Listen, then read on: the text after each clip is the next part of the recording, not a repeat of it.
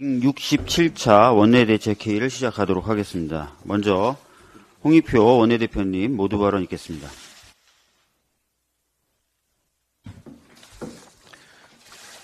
네, 국회의원 선거가 얼마 남지 않았는데 선거가 아직 확정되지 않아서 국민께 큰 혼란을 드리고 있습니다.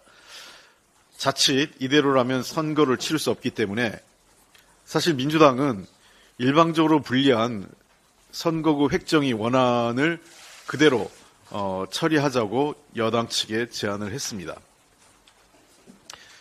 선거, 선관위에서 제출한 획정위안은 사실 여당인 국민의힘에 일방적으로 유리한 매우 편파적인 안입니다. 우리로서는 받아들이기 어려운 내용입니다. 왜냐하면 인구 기준을 적용하면 경기도 안산, 서울 노원, 서울 강남, 그리고 대구에서 한 석씩 감소한 것이 맞습니다. 근데 획정위는 여당 측에게 일방적으로 유리하게 강남과 대구 의석은 그대로 유지하는 불공정한 결정을 내렸습니다. 그 대신 경기도 부천과 전북의 의석을 감소시킨 겁니다. 또 의석 규모의 지역 간 형평성 문제도 큽니다. 지금 인구가 3, 그 선, 선거구 획정일 기준입니다. 인구가 330만 명인 부산은 18석인데 이에 반해서 298만 명으로 비슷한 규모인 인천은 13석에 불과합니다. 30만 명 차이에 무려 5석이 어, 적은 것입니다. 획정위는 이런 불균형도 해소하지 않았습니다. 또한 균형 발전과 농산어촌 대표성 강화를 위해 선거구의 증감은 가급적 도시 지역을 우선적으로 고려했어야 함에도 불구하고 오히려 인구 소멸 지역인 전북의 의석을 줄였, 습니다 민주당은 원칙도 없고 편파적이고 그리고 인구 소멸 지역에 대한 배려도 없는 이러한 여당에게 일방적으로 유리했던 선관위 획정위안을 개선하기 위해서 여러 차례 노력을 했습니다. 그럼에도 불구하고 국민의힘은 어, 그동안 협상에 매우 비협조적이었고 기존의 획정위안을 고수하기만 했습니다. 결국 민주당은 획정위안이 매우 부당하고 우리 당내에서도 어, 해당 지역의 의원들의 반대가 있었지만 눈앞에 닥친 국회의원 총선거를 무산시킬 수 없다는 의미에서 불리함을 감수하겠다고 입장을 밝힌 겁니다. 이는 무책임하게 선거구를 위헌 상태로 몰아가고 있는 여당과 달리 정말 솔로몬 재판에 어머니와 같은 입장을 어머니와 같은 입장으로 정한 것입니다. 애초 획정위안에 대한 민주당의 지적에 대해 국민의힘은 획정위안이 특정 정당에 유불리한 내용이 아니라면서 환영한다고 입장을 밝힌 바 있습니다. 그런데 이제 와서 우리가 획정위 원안을 한다고 하니까 받아들일 수 없다고 합니다. 이해할 수 없습니다. 그렇다면 여당의 입장은 뭡니까? 이번 4월 총선을 치르지 않겠다는 겁니까? 불공정한 획정위안의 수정안을 과감하게 제시하든가 아니면 획정위안을 받든가 두 가지 중에 하나로 빨리 입장을 정해서 오십시오. 자칫 29일 날 본회의에서 획정위안이 통과되지 못했, 못함으로 인해 4월 총선거가 정상적으로 실시하지 못한다면 이것은 전적으로 정부 여당의 책임입니다.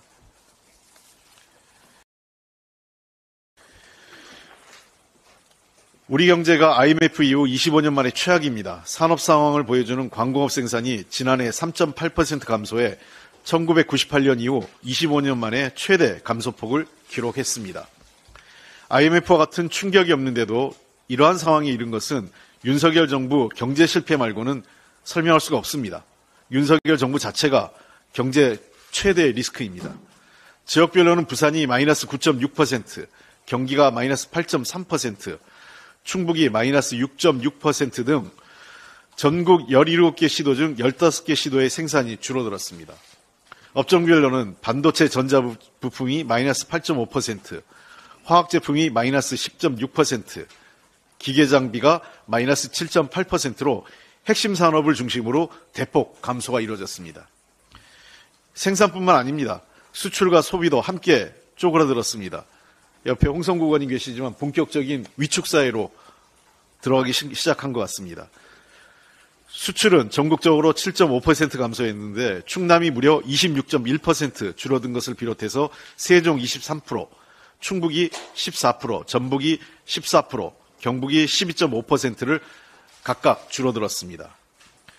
물가는 22년에 이어 2년 연속 3% 넘게 올랐습니다. 특히 전기, 가스, 수도요금은 20% 이상 폭등하고 가공식품, 외식 등 소위 먹고 사는 문제와 직결된 물가가 대폭 올라 서민과 중산층 생활에 직격탄을 이룬 것입니다. 이로 인해 소매 판매도 마이너스 1.4%를 기록했습니다. 경제와 민생에 무능한 정부만큼 국민에게 해로운 정부는 없습니다.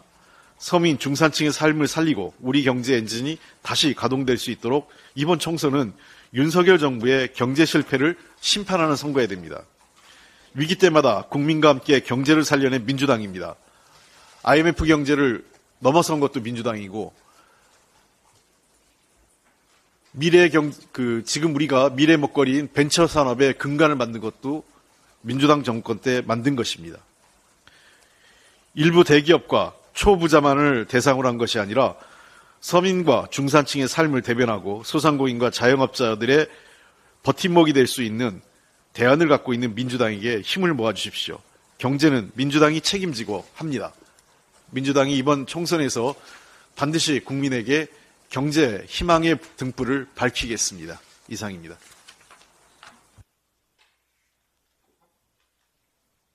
다음은 이계호 정책위원장님 말씀 듣겠습니다. 네, 정부가 어, 어제 기업 밸류업 프로그램을 발표를 했습니다.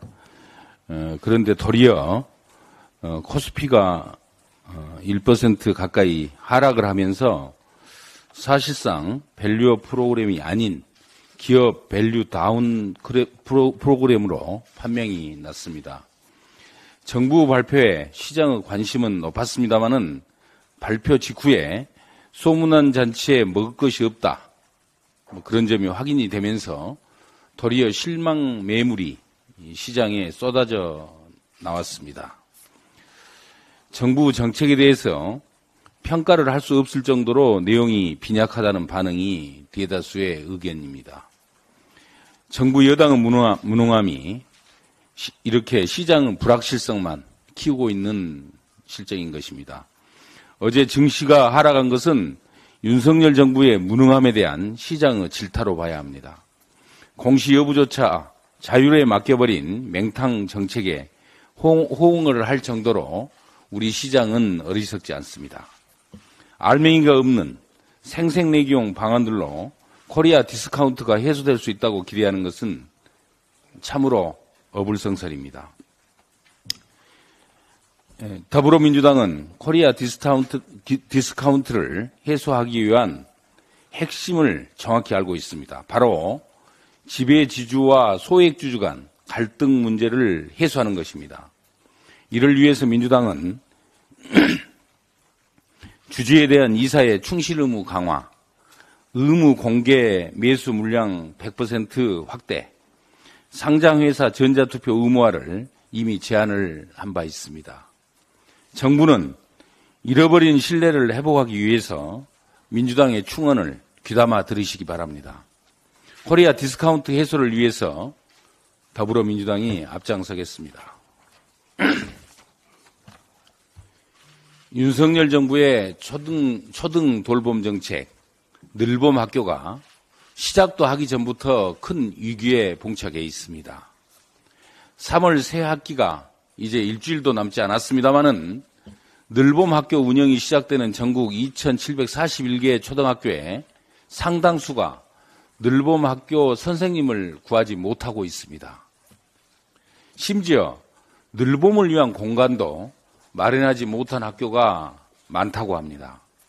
선생님도 없고 교실도 없는데 그러면 우리 아이들이 어떤 돌봄을 받게 될 것인지 학부모들은 벌써부터 불안하기 짝이 없습니다. 초등학교 선생님들은 결국 기간제 교원이 확보되지 못하고 늘봄 학교가 강행될 경우에 고스란히 늘봄 업무까지 떠맡게 되는 상황이라서 걱정이, 걱정이 참으로 태산 같다고 합니다. 선생님들의 업무 과중은 정규 수업의 질 저하로 이어질 수밖에 없습니다. 결국 국고 지원은 전혀 없이 교육청이 알아서 해결을 하라는 주목구구식의 윤석열 정부의 늘봄 학교 강행. 바로 이 점이 교육 현장을 지금 패닉 상태로 빠뜨리고 있습니다. 현 정부의 늘봄 학교는 이명박 정부의 누리 과정의 상황을 떠오르게 합니다. 참으로 악몽 같은 대자뷰입니다. 지난 2011년 5월 이명박 정부는 만 5세를 대상으로 누리 과정을 도입하겠다고 발표를 했고 2012년 총선을 앞두고 만 3, 4세까지 확대하겠다. 당시 계획을 발표를 했었습니다. 이 당시에도 이명박 정부는 약 4조 원에 이르는 누리과정 시행에 따른 소요 비용을 모두 교육청에 떠맡겼습니다. 이로 인해서 심각한 사회적 갈등을 일으켰고 지방 교육 재정의 위기로 100년 대계 교육이 도리어 총체적으로 후퇴하는 사태까지 겪게 되었습니다. 윤석열 정부는 급조된 늘봄학교 강행으로 교육 현장을 이렇게 혼란에 빠뜨리는 것을 당장 중단하기 바랍니다. 우리 당은 국가, 지자체, 그리고 교육청이 주축이 되어서 우리 아이를 돌보는 온 동네 초등 돌봄 공약을 이미 제시를 했습니다. 민주당은 지자체가 직접 운영하고 국가가 책임을 지는 양질의 초등 돌봄을 제공하고 그렇게 해서 안심하고 우리 아이를 맡길 수 있는 100% 국가 돌봄을 반드시 실현하겠습니다. 이상입니다. 예, 다음은 홍성국 간사님의 경제 브리핑이 있겠습니다. 경제 브리핑입니다. 어, 지금 어, 우리 유통 플랫폼들이 한국의 그 내수 시장을 강타하고 있습니다. 저게 허물어질 지경입니다. 이 표는 어, A 음식점에 만 원짜리를 배달을 시키면 무려 수수료로 4,708원을 떼어나간다는 얘기입니다. 지금 이런 현상이 우리 사회에 벌어지고 있는데요. 우리 내수 시장이 1천조 원입니다. 그리고 소상공인들이 700만 명이고요. 소상공인 부채가 천조나 됩니다. 이런 상태, 금리가 올라 있는 상태에서 배달을 이런 형태로 하면서 유통 플랫폼들이 독식을 하고 있는 게 현재의 상황입니다. 더군다나 여러분들 뭐 요즘 이슈가 되고 있는 테무나 알리익스프레스 가보면 거의 황당할 정도의 가격들이 나옵니다. 어, 할인율이 70, 80, 90% 있는 것도 많이 있거든요. 일단은 싸니까 우리 배달, 배달의 민족과 같은 유통 플랫폼이 처음 올 때는 아주 싸지 않았습니까? 싸우니까 많이 가지만 일정 시기가 지나게 되면은 가격을 엄청나게 올려버리거든요. 그래서 당장은 싼 가격에 우리 시- 시민들이 많이 어, 이용을 하겠지만 시간이 지나면 더 올라갑니다. 이 과정에서 우리 내수가 다 무너질 수 있기 때문에 어, 멀티호밍, 뭐 최 이런 다양한 형태로 유통 플랫폼들이 아, 이제 자신들만의 독점적 지배를 만들어가고 있는데요. 이 상태로 몇 달만 지나고 나면은 우리 내수는 더 어려워질 것 같습니다. 그래서 가맹사업법이라든지 아니면 지금 논의되고 있는 온라인 플랫폼 공정화법 같은 것들을 조속히 마련하지 못하게 된다면 우리 소상공인과 우리 내수 경제 전체가 무너지는 큰 효과가 올 거로 생각됩니다. 두 번째로는 이계호 정책위 의장도 말씀하셨지만은 어, 정부가 어제 어, 한국 증시 밸류업이라고 이름은 참 거창한 정책을 내놨는데요. 어, 알맹이가 다 빠져 있었습니다. 그런데 이것은 가장 중요한 것을 어, 지금 정책 당국자들 그리고 여당에서 모르고 마구 내던진 겁니다. 지금 내놓은 거는 여러분들 아시죠? 이미 하고 있는 겁니다. 하고 있는 건데 어, 다음 대책을 재밌게도요. 총선 이후에 뭘 하겠다는 얘기입니다. 뭘 하는 거냐? 세제와 관련된 사항입니다. 그런데 아시다시피 정부 여당은 세금 깎아주는 거 싫거든요. 그런데 또 주식 투자가를 위해서 세금을 뭐 깎아주겠다고 해서 얘기를 했던 거죠. 결국은 안 하겠다는 얘기로밖에 들리지 않습니다.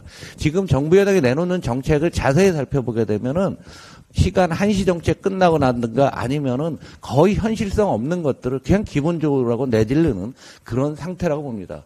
코리아 디스카운트가 왜 이 정부에서 중요했냐? 요거는 윤석열 정부 출범한 2022년 4월 말부터 올 1월까지 전 세계 자산별로 수익률을 해본 겁니다. 역시 일본이 가장 많이 올랐고요. 한국은 코스닥 2년간, 윤정부 2년간 11.7% 하락, 코스피 7.3, 어, 그다음 환율도 절하됐고요. 모든 지표가 이쪽에 있어요. 이거는 정책이 실패돼서 이 결과 우리나라 주식시장이 저평가되고 있고 제대로 판단을 못하고 있는 게 본질인 겁니다. 일본을 따라합니다. 지금 모든 정책은 일본이 따라하는데요. 일본이 이번에 어, 어제 또 사상 최고치가 나왔는데요. 그 이유는 이 정책을 11년 동안 지속한 거예요. 아베 정부부터. 일본 중앙은행이 전체 주식의 7%를 갖고 있습니다. 왜 이런 보도는 안 하죠? 그런 것들이 누적돼서 올라가는 거지 단순히 밸류 프로그램 갖고만 올라가는 게 아니라는 얘기입니다. 보다 본질적인 이유는 기업의 이익이 좋아져야 돼요. 왜 미국이나 일본 증시가 올라간다 얘기죠. 올라가는데 올라갈 때 ROE 자기 자본 이익률이 다 올라가요. 그런데 우리나라 기업은 장기적으로 떨어지고 있습니다. 기업의 경쟁력이 떨어지니까 당연히 PBR이 제대로 평가받을 수가 없고요. 일본을 보시면 빨간색, 파란색이 있는데요. 그 ROE가 파란색 아, 기업 이익이 올라가니까 PBR도 올라가는 거지 주식시장은 기본입니다. 기본을 무시하고 주가만 올리겠다고 하는 거죠. 더 중요한 사실은 투자 문화에 있습니다. 우리나라 어, 많은 분들이 그렇지만 본인의 자산 중에서 부동산 비중이 세계에서 제일 높은 나라예요. 딴 나라들 보게 되면은 가계 자산 중 금융 자산 비중이 보시면 미국이나 일본만 하더라도 60%가 다 넘습니다. 미국은 70%가 넘어요. 그 금융 자산 중에서 미국 같은 경우는 주식이 60% 가까이 됩니다. 그런데 우리나라는 금융 자산 비중이 이제 40도 안 되는 나라예요. 이 부분을 어떻게 높이느냐, 부동산을 어떻게 잡느냐, 이런 문제가 다 복합적으로 연결되어 있는 겁니다. 우리 더불어민주당의 증시 정책은 장기적으로 꾸준하게 성장할 수 있고 장기 투자처로 서민의 자산 증식을 어, 높이는 이러한 정책들을 개발해서 지속적으로 발표하고 실행하겠습니다. 경제는 민주당이었습니다. 예, 다음은 강준현 부대표님 발언 있겠습니다. 국가 균형 발전 문제를 총선용 매표 수단으로만 삼으려는 윤석열 정부와 여당인 국민의힘에 참을 수 없는 가벼움, 그 수준이 도를 넘고 있습니다. 지난 21일 윤석열 대통령은 지방에 일자리를 만들고 활력을 불어넣을 첨단 산업단지를 세우려 해도 그린벨트에 막히는 경우가 많다며 그린벨트 개편을 시사했습니다. 지방 발전이 더딘 것이 단지 그린벨트를 해제하지 못해서입니까? 국가 균형 발전은 지역의 인프라 개발과 더불어서 교통, 주거, 복지, 문화 등 전반적인 도시 기능과 정주 여건을 고루 개선해야 하는 중장기적 과제입니다. 그린벨트 규제 완화는 필요시 논의해서 결정하면 됩니다. 이러한 국가균형 발전의 대안으로 제시된 것이 메가시티이고 우리 민주당은 메가시티 특별법도 발의하고 추진하고 있습니다. 하지만 정작 국민의힘은 메가시티 법안에 이렇다 할 반응을 보이지 않고 있습니다. 오히려 한동훈 비대위원장은 지난 16일 22대 국회가 개원하자마자 김포의 서울 편입 경기 분도 원샷법을 발의해 추진하겠다고 말했고 지난주 윤재옥 원내대표 역시 같은 취지로 발언을 했습니다. 메가시티 서울을 선언하면서 지난번 목련이 피는 김포의 봄을 운운하더니 이제는 22대 국회 개원을 조건으로 달았습니다. 결론적으로 이는 정부와 여당 스스로 총선만을 의식한 매표성 공약임을 자인한 격입니다. 본질을 무시하고 수도권 과밀을 종용하면서 마치 지방은 그린벨트만 해제하면 발전할 것이라는 가벼운 철학만 드러냈습니다. 입으로 하는 맹세가 마음으로 하는 맹세만 못하다고 했습니다.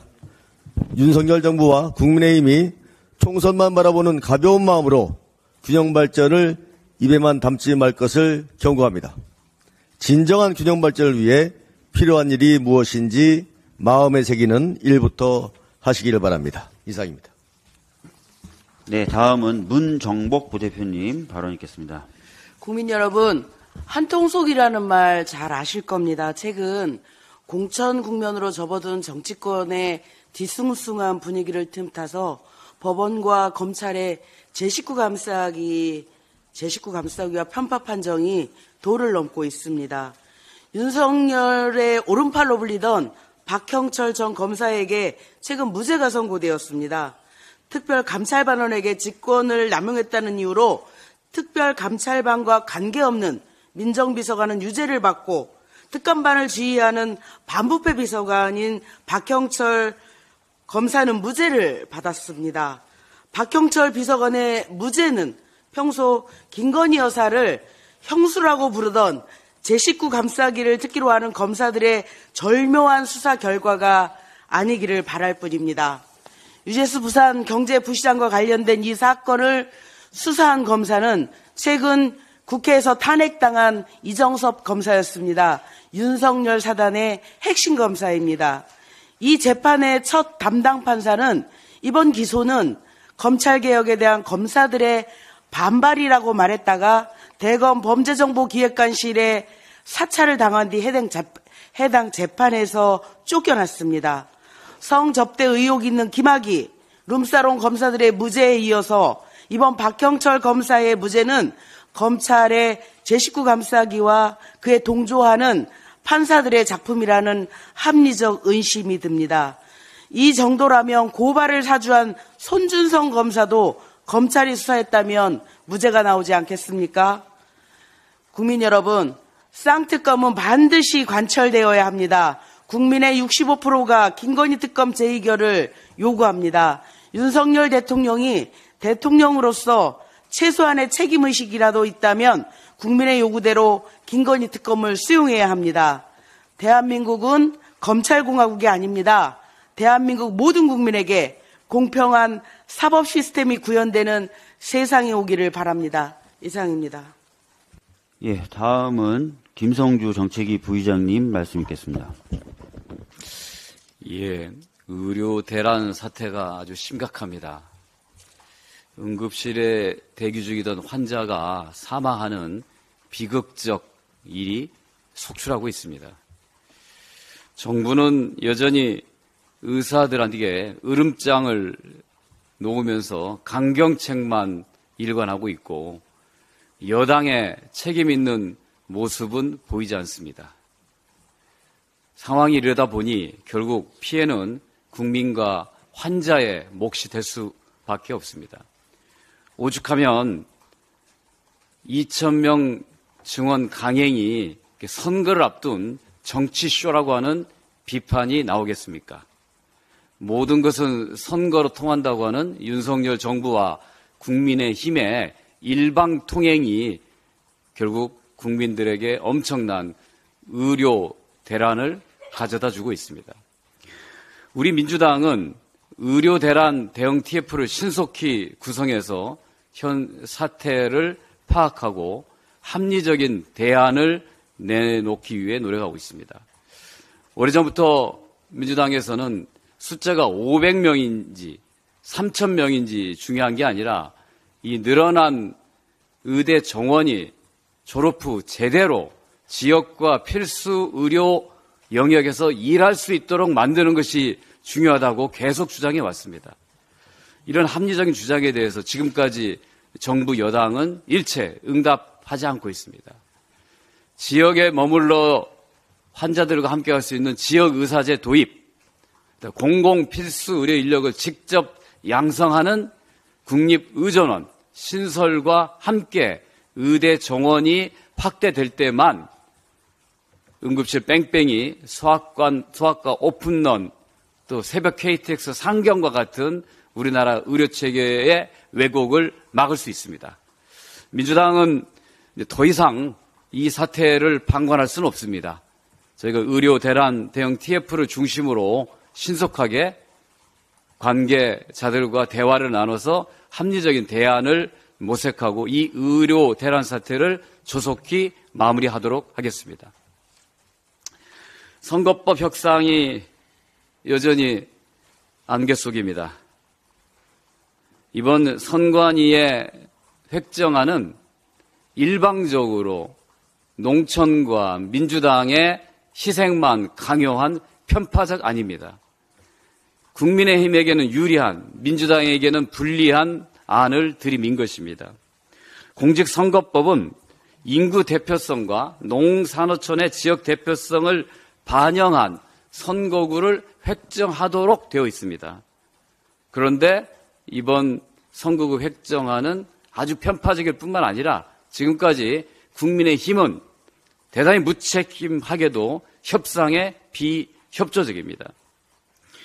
농산어촌의 지역의 대표성을 확보하는 전북의 의석 열석은 유지돼야 됩니다.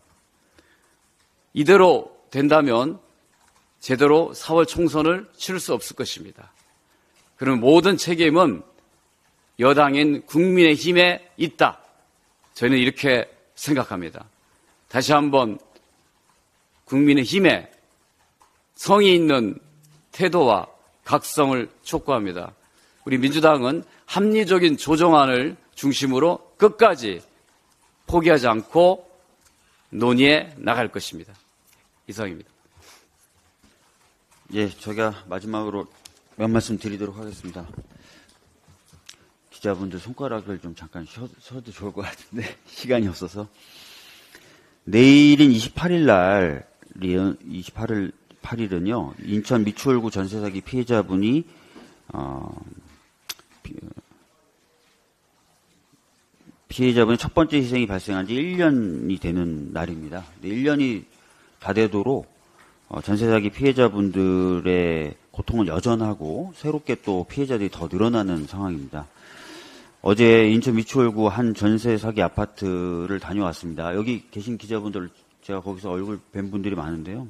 실제 그 건물 안에 들어가서 보신 분들은 아시겠지만 이게 단순히 이제 전세 사기를 피해를 받았다는 거에서 끝나는 게 아니라 관리가 안 돼서 외벽에 타일들 다 떨어져 나가고 천장 무너져 내리고요.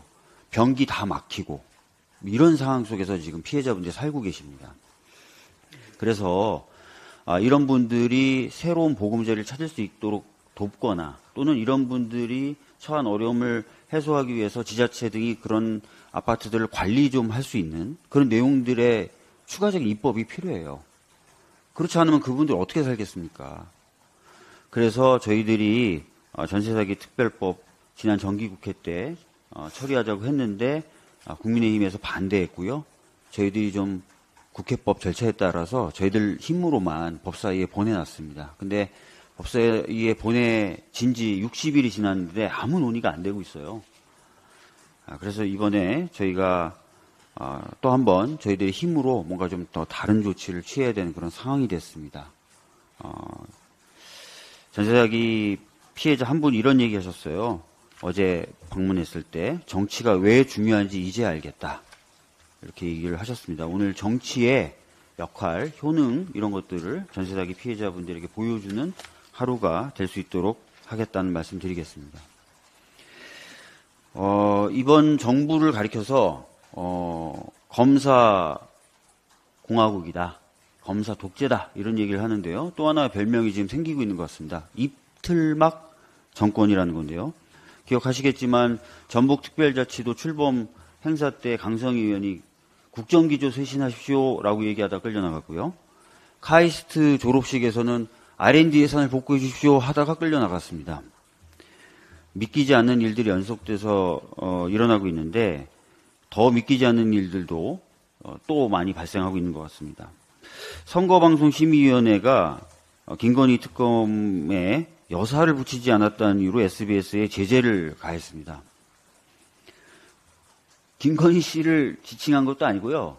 이게 고유 명사처럼 쓰이는 김건희 특검이라는 그 법안의 명칭을 그냥 쓴 건데 거기 여사를 붙이지 않았다고 해서 불공정하다라고 하는 겁니다. 근데 이 특검법 공식 명칭에 여사란 표현이 들어가 있습니까? 이 법안 공식 명칭에 여사란 표현이 들어가 있어요? 없어요. 대통령 배우자 김건희의 도이치모터스 주가 조작 의혹 진상규명을 위한 특별검사 임명 등에 관한 법률안입니다. 그럼 국회도 제재를 받아야 됩니까? 말이 안 된다고 생각하고요. 그럼 김영란법은 앞으로 김영란 씨법, 김영란 님법, 김영란 전 대법관 님법 이렇게 불러야 되는 겁니까? 말도 안 된다고 생각하고요.